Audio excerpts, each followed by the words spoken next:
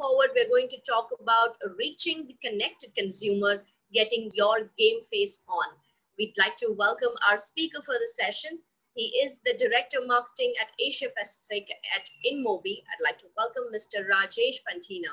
A very warm welcome to you. Hello. Hi, Kathy. Thank you a lot for that. Good afternoon, sir. Over to you now. Good afternoon. I'm just going to try sharing my screen. Cool. Uh, so I, I, think we've heard a lot from um, you know Sai, and we've also seen the overall online gaming space uh, being described in detail uh, by Girish. Now, what we'd like to do is basically take you through our own insights and specifics of mobile gaming, where um, you know what we're basically looking at is a report titled "Everyone's Gaming Among Us," which is probably true. Um, and a lot of you guys must be gaming right now while listening to this. Um, now, this report specifically, if you look at it, uh, what we've tried to do is basically look at three parts. Uh, you know, one is basically a bit of consumer research. Uh, you know, what we're basically looking at is a report titled "Everyone's Gaming Among Us," which is probably true. Uh, okay. Um, so yeah, quickly about the report, how we've gone about looking at the insights is we've looked at it in three parts. One is that there's a bit of consumer research that we have done using InMobi Pulse, which is our uh, mobile consumer intelligence platform. The second bit is basically we've looked at a bunch of audience intelligence um, where we've looked at 1.7 trillion ad requests from January 2020 to January 2021 and using a lot of that, we've looked at actual engagement, actual kind of usage patterns, etc. And ultimately looked at some advertising insights on the Mobi Marketing Cloud. That's where advertisers meet consumers on the gaming environment and are able to actually uh, you know, meet their consumers, engage them in the right formats, right kind of ways that they want.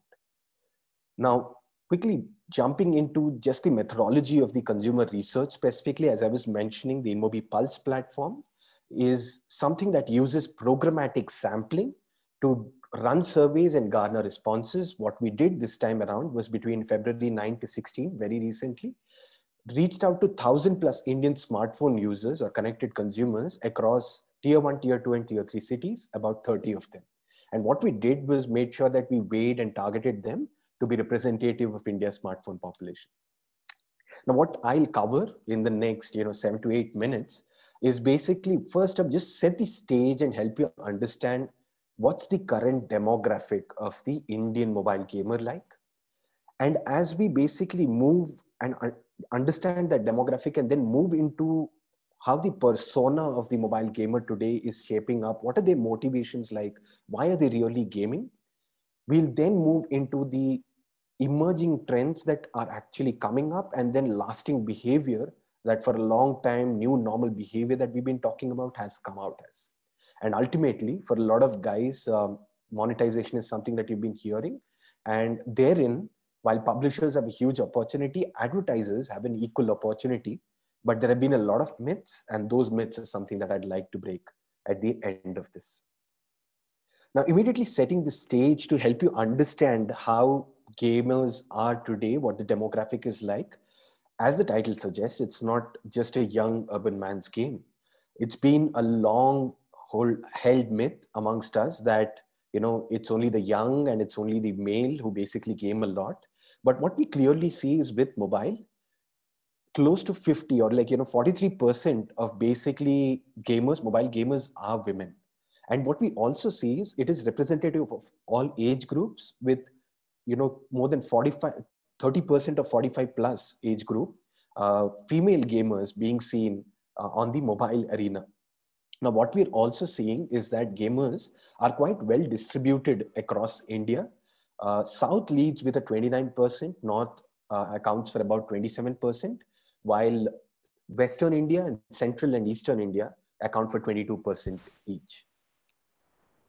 Now, now that we've understood how the demographic has shaped up, how it's kind of evolved in the past, right, uh, past 12 months, what we'd like to look at is how do we define or how do we understand the persona of this mobile gamer better, right? And what we really have seen that India is emerging as the land of the committed gamer. Now, here's how we basically been able to arrive at it. is we asked a very simple question to our audience was to say, how often does you know one play games on their mobile phone? And what we found was a whopping 80% basically said that they played once to several times a day. And these are basically the committed gamers in India. And these committed gamers actually reign supreme across gender. While we see that there is a certain skew, very you know tiny skew towards male, but you see the three and four gamers, both female and male, are basically committed gamers. The other set of gamers that we are defining are regular and occasional gamers, where we see that regular gamers play at least once a week and occasional gamers play once a month or less. Now, I think the most critical part and one of the pieces that was already kind of brought up by Girish and is corroborated through this survey is that we really wanted to understand what's a motivation for people and why did people take up gaming, right? Now, what we really found out that mobile gaming is equal to relaxation. When we'd ask people what's their primary motivation, while you see a bunch of you know people wanting to compete and win, people wanting to fight boredom, people wanting to connect with friends and family, entertainment or relaxation basically reigned supreme.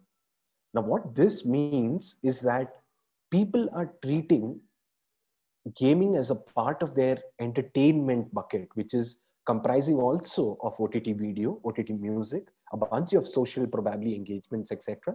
But then gaming is starting to own that entire entertainment and relaxation genre and is probably the new face of entertainment now. Now, what's also unique, and as we basically need to keep that basic motivation in mind, is that people are looking at it as entertainment or relaxation they are also snacking on mobile gaming. You will see that a whopping 70% are basically playing either for 10 to 30 minutes for each session. So the question that was posed to people here was how long would each session of theirs be? And that turns out to be around 10 to 30 minutes. And that is true not just for basically, you know, the overall gamers, but also committed, regular, and occasional gamers. So it's something that is uh, a snacking behavior is coming true for anybody and everybody who is a mobile gamer today. Now, what that also basically shows is that people are looking for it as entertainment. People are basically looking for it as um, you know something that is helping their snacking behavior, and so therefore they're actually going to go play them all and try them all, from casual, card, multiplayer, online battle arena, action, to esports. People are actually trying out any and every game that they can lay their hands on to basically entertain or relax themselves. Now, what we also saw was over 40% of these gamers overall, not just committed gamers, but overall, actually had more than three games at any point in time on their smartphones, right? While space might be an issue in the current Android heavy market, what we are eventually seeing, and there was a hint of about the you know cloud gaming, etc but we will start seeing this entire thing drift and more and more games being present on everybody's smartphone. Now, having said that, what we wanted to also touch upon was that while there's a lot of stated data, people are responding to surveys, how did it actually pan out when it comes to actual engagement that we were seeing in those 1.7 trillion ad requests, right? Now, as you understand, this is a lot about games which use monetization, right, as their mechanism or ad monetization as their mechanism. Now, one of the first emerging trends that we basically saw was an increase in time spent and increase in variety of games that people were using. Now, that is also uh, something that is reflected in a response that we saw to our survey, where we saw that 45% Indians actually started playing mobile games due to the pandemic. So you see that there's been a huge insurgence of actually non-gamers just because of mobile making it available to them and therefore democratization has actually brought in a whole new bunch of gamers who do not really know consoles who do not really look at the desktop but are basically looking at mobile gaming as the primary way of gaming and therein what we are also seeing is existing gamers are basically increasing their time spent and are increasing the variety of games that they are playing now, as you see, gaming has been winning hearts because what we saw on the platform as well was a 1.5x growth in terms of the users, unique users as well from February 2020 to December 2020. And that is very much in line with where we are seeing that 45% of people have said that they actually started gaming just due to the pandemic. Now, please note here, this is unique user count. Now, if we move to the app usage itself, what we see are two big things. The first thing being that gaming earlier definitely was a small snacking kind of piece, but it had two big peaks, which was 11.30 and then prime time around 8.39. But what has happened due to the pandemic is basically gaming has actually emerged as a constant engagement piece through the day.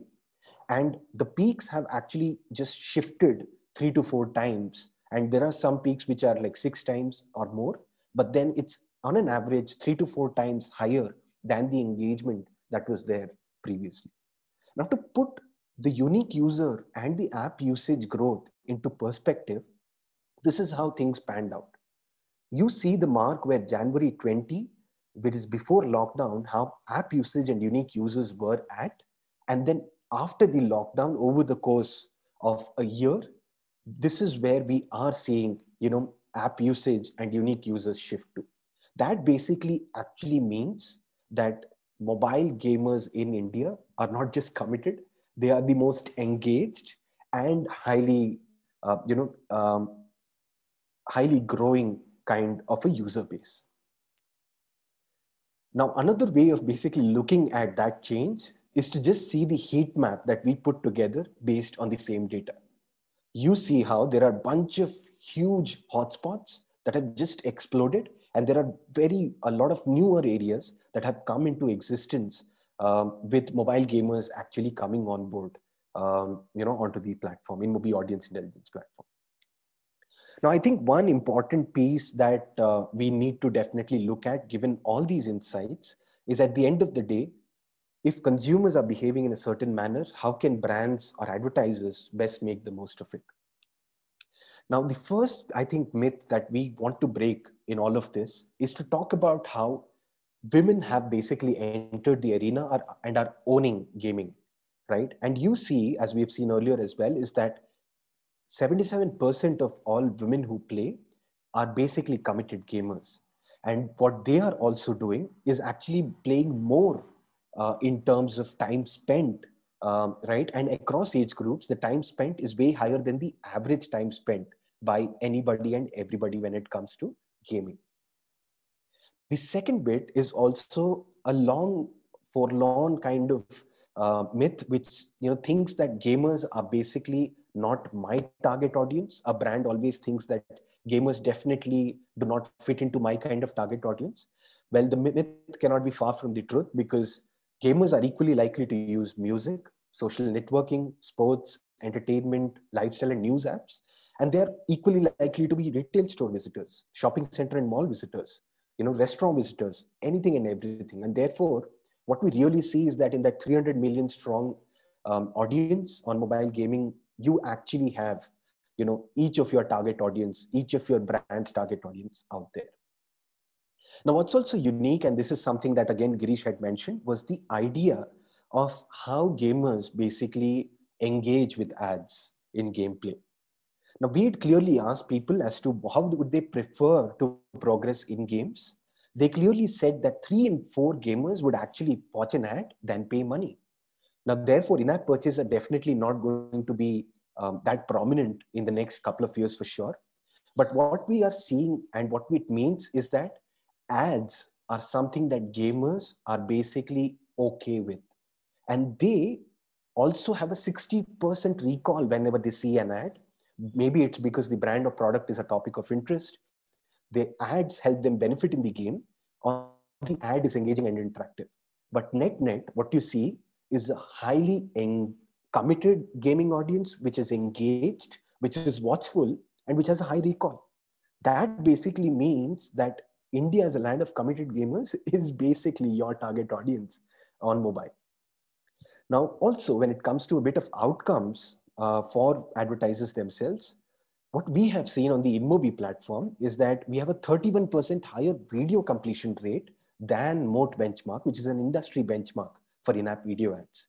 And we've also seen 2.6 is higher engagement in terms of clicks, in terms of um, end card you know engagement in terms of rich media engagement etc that can be built on top of video now that is basically you know huge huge um, goal and a huge huge distance that brands can actually cover by starting to invest and starting to make more of what the mobile gaming audience is providing to them in today's time and age that's basically it. Um, I think you guys will have access to the detailed report and detailed insights um, in the chat link.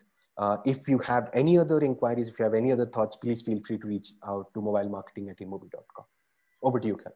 Thanks. Thank you so much, Rajesh, uh, for giving us that brief insight. And I'm sure a lot of uh, our viewers have taken key highlights from your talk. Thank you so much for your time and sharing the insights here with us. Thank you. Thank you, Kevin. Bye.